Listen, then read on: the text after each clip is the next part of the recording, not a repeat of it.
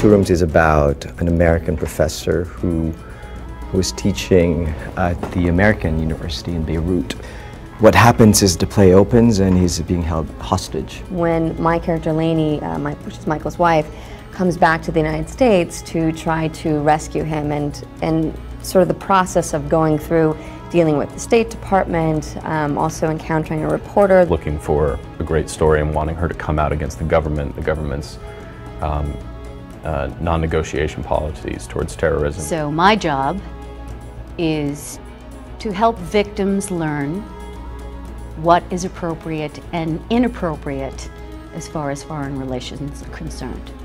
The play basically takes place in two rooms, and the one, one of the rooms is the cell in which Michael is kept. The other one is Michael's office at his home back in uh, just outside DC, where his wife has taken out all the furniture and she's painted it and cleaned it to give herself a better understanding of what Michael's going through and to stay connected to him in some way. And then Michael, during his captivity, he's handcuffed and blindfolded and he uh,